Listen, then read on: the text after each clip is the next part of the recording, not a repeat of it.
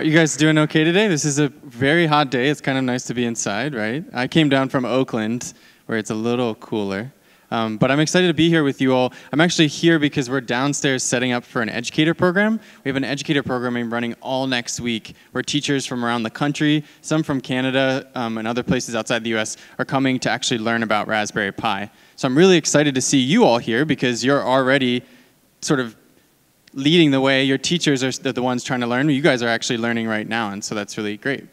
Um, so like Priya said, I'm from the Raspberry Pi Foundation. Most people are familiar with the Raspberry Pi. Have you guys done any Raspberry Pi yet today? A little bit? Okay, I think some more people doing in the afternoon, right? So most people are familiar with this, right? This is the Raspberry Pi computer. Um, and what's really cool about the Raspberry Pi computer is that it's really small. It's a credit card sized computer and it's really cheap. It's $35, right? And the reason it's those two things is because um, one of our founders, a guy named Eben Upton, who's somewhere on this list, a British guy, he said that he wanted to um, create a computer that young people could own themselves and learn how to code with. Um, when I was younger, some of you might actually remember this. Uh, I didn't put it on there. There's a device that many of you like. I, guess ask one of the older folks in the room. What, what did you learn coding when you were growing up? I didn't bring my computer. Maybe like a Commodore 74 or something like that?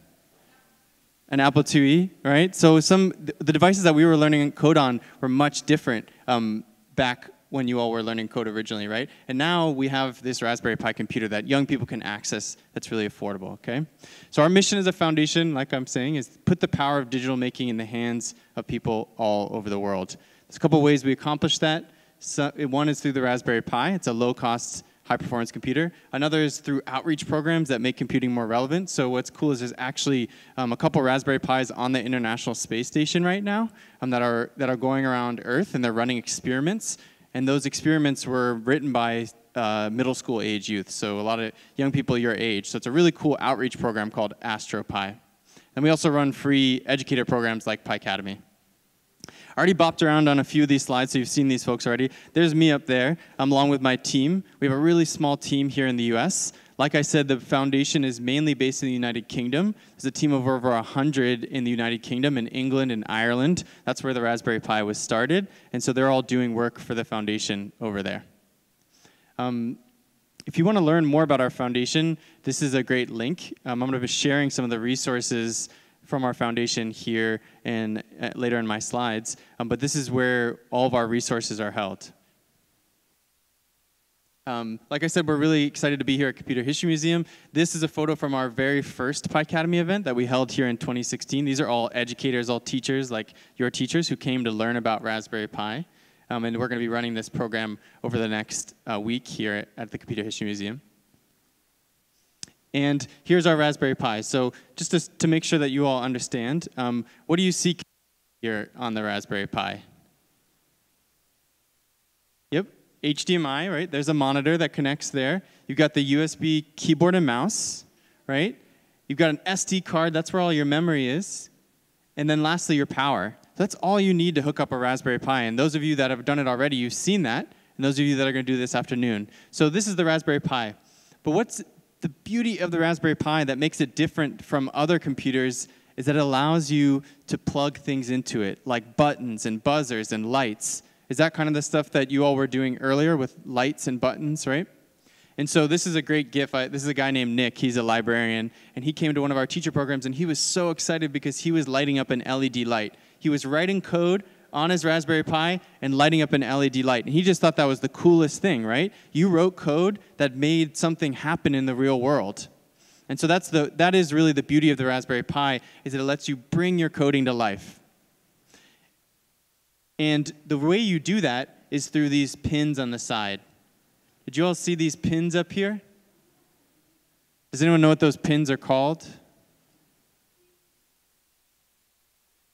GPIO pins, right? General purpose input output. So you can have an input, um, like a button if you use a button, or an output. And that's where you can connect things like a light. This is one of my favorite activities. I think you all might be doing this later today, where you just hook up a simple circuit. You just hook up an LED light, write a bit of Python code, and you can make that light blink. You can also do it on a breadboard. How many of you have done breadboarding before? A few of you? Yeah? So breadboarding lets you, you don't have to solder, you don't have to accidentally burn your hands with solder. You can just temporarily put things in out. So it lets you make this circuit. You connect it up to a 3v3 power, bring it through the LED, a resistor, back to the ground, and you've got a simple circuit, right? And that's that hands-on, real-world coding. Um, we as a foundation, like I said, our mission is to get young people and people of all ages the opportunity to learn how to code. So we have projects in Scratch, HTML, Python, Raspberry Pi, obviously, SenseHat, and Sonic Pi. Um, we, have these, we share all these projects online. They're free and open source. They're available for you at any time. And this is sort of a fun example of the, the LED light project. The next level is you can create like a little robot antenna. So you can sort of build out and build out and build out from here. Were any of you at Maker Faire this year? a couple weeks ago. You probably saw a ton of Raspberry Pi projects there. A lot of the robots, the drones that they build are powered by a Raspberry Pi as the brain on that computer. Um, I also want to share a few of the resources. We also support a, a, global network of coding clubs. So if you're not doing computer science in your school or you just want to do more coding, there's a great network called Code Club. There's, pro there's probably a code club right near you here in California. And this is a great way to meet other people that love coding and code with them. And it's the community that we help support as a foundation. Um, we also have something called Coder Dojo. Is anyone familiar with Coder Dojo? Um, you, maybe you've heard of one. There's, there's one down here in the peninsula. This is also an after-school coding network um, that is free and open for anyone to go to. So you might want to find a Coder Dojo near you. Um, this one was started in Ireland, actually, and they're now in our foundation. Um, if you're a parent in the room and you want to beef up your skills, we also have free online courses.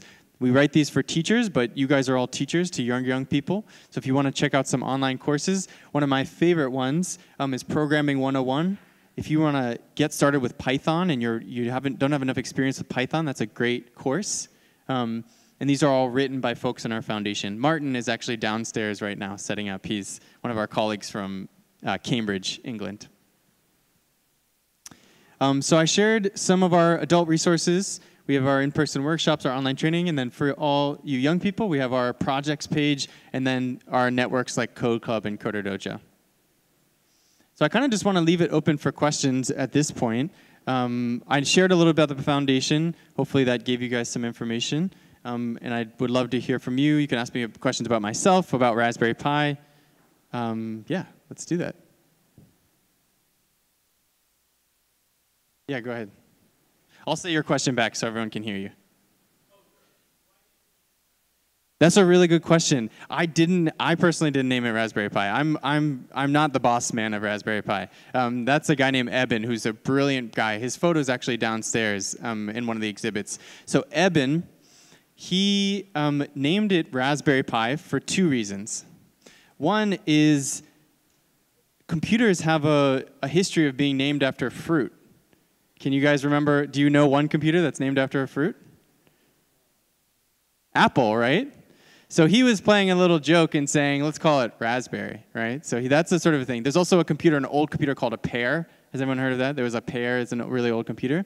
And then Pi is not PIE.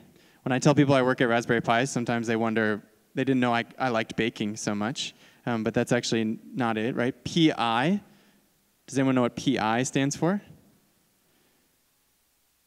Like the number, right? 3.14. So that's the reference there, and then also pi for Python, because when they first were creating it, they were thinking it would be run off Python. That's a really good question. Thanks for asking. Other questions? Yeah. How did I get involved? That's a good question. Um, so my background's actually in biology. Um, how many of you are sixth graders? Seventh graders? Eighth graders? So I taught sixth, seventh, and eighth grade science in Brooklyn, New York. So my background is actually as a teacher, not in coding, not in computer science, and just straight up science. Um, but the beauty of the foundation and the beauty of our work is we don't care if you have a background in computer science. We want to give you the opportunity to learn and explore. So most of our team doesn't have a background in computer science. It's something that we've come to new. And now I'm teaching classes about computer science. So I think that's a really important point. Um, but I was a teacher. I worked at the California Academy of Sciences for a number of years. Some of you maybe have been there. Um, and I've worked for a few other nonprofits. Um, but I would say this, and I'm not sure if this is what you kind of were getting at with your question, is for you young people, um, you you really have the world. Like this is the quote that I put up before I got started. Just explore what interests you, right? Um, you should be going after what interests you and always keeping open to that. Um, so my background wasn't in computer science, but I was interested me, so I went and, and moved into that. Other questions? Anything you want to know? No, go for it, then I'll come back to you here. Yeah. Go for it. How many Raspberry Pis are there in the world? That's a great question. There are 26 million Raspberry Pis in the world. Um, when Eben started the Raspberry Pi back in, I, I think it was about five or six years ago, he thought they might sell like a thousand or more to hobbyists, people that were just thought it was a cool thing. And now it's the best-selling computer in all of England, in all of the United Kingdom. They were just, I think, passed to 25 or 26 million. Um, Sony uses them in their factories to make their processing their, their um, more efficient. They're what they do. Um, people at Home Depot use them um, so that when you go up and you want to find something in the store, like you guys ever gone and printed out movie tickets? You know, you have to go up to the screen and print out a movie ticket. That's probably run by a Raspberry Pi. It's just the brain behind that screen, right? It's a simple computer. They're used by the military. They're used up in the space station. They're used by governments. They're used in all different types of ways. Yeah. Oh, and, and I'll come back to you. Yeah. I'll go with her and I'll come back to you. Yeah.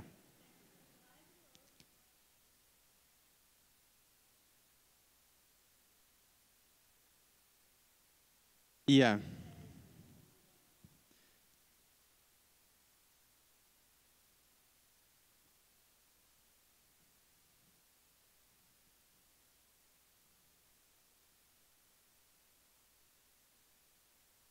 Yeah, the question is like, what are the non-educational uses for Raspberry Pi?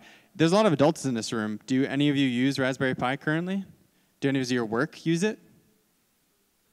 Because I know there's a couple companies that use it for, you can use it for a, monitor, a home monitoring system. So you set up a camera, a motion sensor. If someone walks in front of your door, that's like the doorbell um, alarm that you can buy now from Amazon, right? You can set it up in a lot of different practical ways. I know people that have set it up to, to water their gardens. They have a temperature sensor, and when the temperature gets too high, it'll send a signal, and that'll send out water from their pump. Right? So there's lots of practical uses. One of my favorite things is just go to YouTube and type in Raspberry Pi. You're going to get so many videos of people building all kinds of things with Raspberry Pi. You had a question here, yep. What are the economics? You mean in terms of the price point? What makes it so popular? Well, the two reasons I think it makes it so popular. One is that it's really cheap. We as a foundation make sure that the price point is as low as possible so that you all can um, have access to these. All the, the funds that go from people buying Raspberry Pis go directly back to us to, as a foundation for us to do free programming. And then lastly, I think the other reason is it's a Linux-based system. Do any of you know about that? So that what that means is when you buy your Apple, you pretty much have to do what the Apple tells you to do, right? You have to use the Mac OS, you have to do what they tell you to do. The Pi, you can hack it, you can build it up, build it down, you can do whatever you want with it. It's an open system, an open source software system that you can do whatever you want. So that makes it really interesting to people who want to be creative. Yep. The processor, that's a good question. It's a Broadcom chip. Um, let me see if I can go back to this slide. Um, the processor is, a, yeah, it's a Broadcom chip. I'm not sure. They're getting better and better. The first Raspberry Pi was $35, and it, it had about a quarter of the memory that the current one does, and the current one's still $35. So we just make, make it as, as good, better and better as we can while never changing the price. Yep.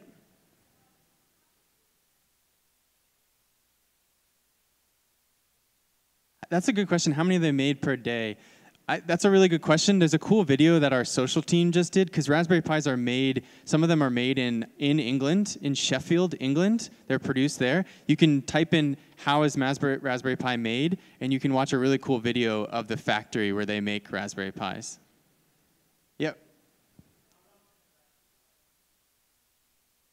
Uh, say it one more time. Oh, before going bad. Um, I mean, some people have the original Raspberry Pis from six years ago that they still use. The, the, the cool thing is, though, is like, if you have a Raspberry Pi and it breaks, that's no big deal. It was $35. You can just get another one, right? It's, uh, we've made the computer as affordable as possible so that we want you to tinker with it. We want you to accidentally break it. That's fine, right? When, if, when I was younger, if I had broken my home computer, I would have been in big trouble because that was like really expensive, right? But nowadays, computing is really cheap. Here, and then I'll go to this guy here, yeah.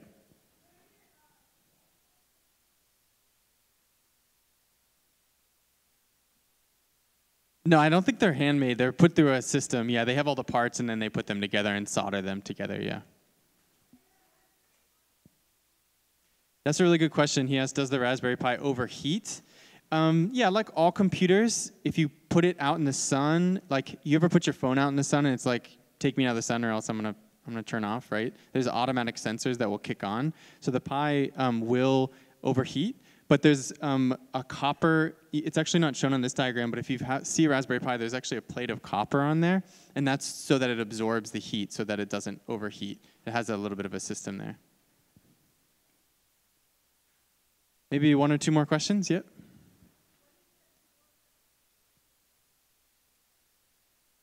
What's the coolest Raspberry Pi project I've made? So I made a, um, a a Babbage bot. So we, our mascot, his name is Babbage. Um, that's Babbage right there. Do you guys see that bear? His name is Babbage, and if you know, there's a famous computer scientist named Babbage. So we have Babbage the bear, and for my program, the hashtag is PiCademy, but people always misspell it and they write Pi Academy. So I made a Twitter bot who's called Charlie Babbage, the Twitter bot. And when people use the wrong hashtag, he politely tweets at them and says, Hey, I see that you're trying to use this hashtag, but you wrote it wrong. Could you please try again with the right hashtag? So that's, that's, that's something fun that I, I wrote. Cool. Yeah, one more question.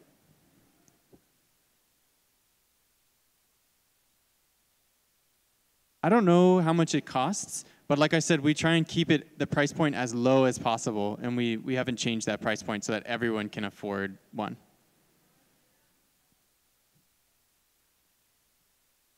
Yeah, that's a good question. I can't, I don't know that offhand what the, the cost of the parts are, but a lot of you probably have built your own computers, so you kind of know the price point there.